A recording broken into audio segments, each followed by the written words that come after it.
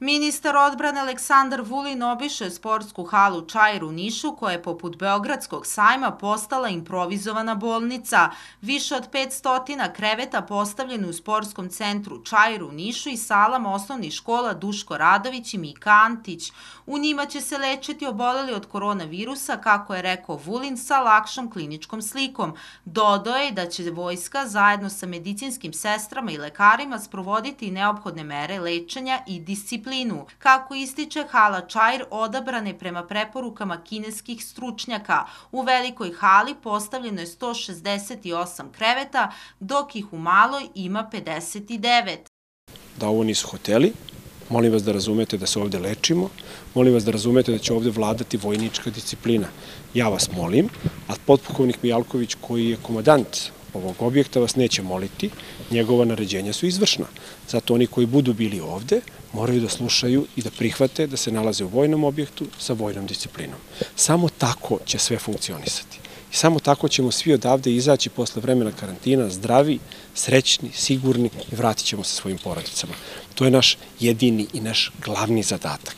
Neće biti kompromisa sa bilo kim ko krši disciplinu, neće biti kompromisa sa bilo kim ko misli da može da, da napušta objekat, dolazi kad hoće, kako hoće. Ovde će se dolaziti sa uputom odgovarajućeg lekara, u, uz prevoz a, naših zdravstvenih institucija. Ovde će biti uređeno sve od momenta kada ležete, kada ustajete, kada se uzimaju obroci, šta se radi. Dakle, život mora da bude, kako vojska voli da kaže, planski organizovan.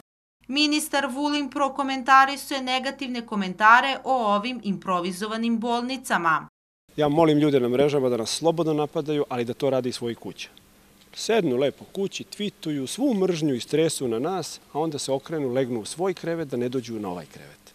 Molim ih da svoju mržnju čuvaju za nas i da je slobodno koriste, ali da budu bar toliko korektni da kažu da je ovako ili mnogo lošije u daleko većim i bogatijim zemljama. Videli ste kako izgleda u Madridu, videli ste kako izgleda u Italiji, videli ste kako izgleda u Beču, videli ste kako svuda izgleda.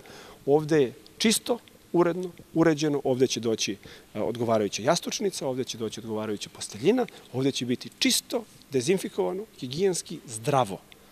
Naši vojnici spavaju na ovim krevetima, spavaju u čistoj posteljini, ja sam spavao na takvim krevetima i takvoj posteljini.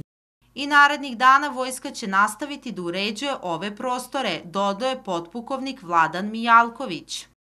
Trenutno smo u toku jučerašnjeg i današnjeg dana stvorili sledeće uslove.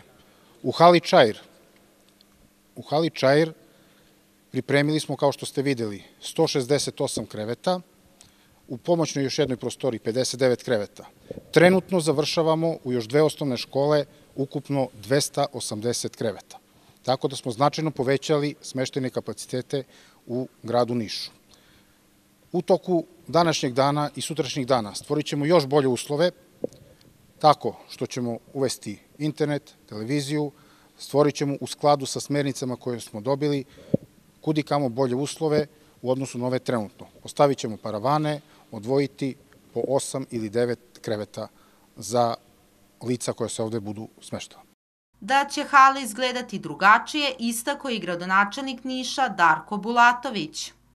Sve kao što je u Beogradu i Novom Sadu, tako će biti i ovde. U toku dana će već pristići svi neophodni paravani, ovi prostori će izgledati sasvim drugačije, imaće karakter soba, prolaza, svega onoga što je po svim pravilima i upustvima zdravstvene zašte, higijene, sanitarnih puteva, mokrih čvorova, dovoljan broj e, svih, da kažem, toaleta i svega što je neophodno, takođe sadržaja koji su prateći, koji će omogućiti, da kažem, malo sadržajniji život za vreme boravka u Hali Čajru, u smislu da imaju i televizori, i mesto gde će se hrana deliti, Bulatović dode da će studentski centar Niš obezbeđivati hranu kao i da je već nabavljeno 100.000 pribora, posude i esajga koji su za jednokratnu upotrebu.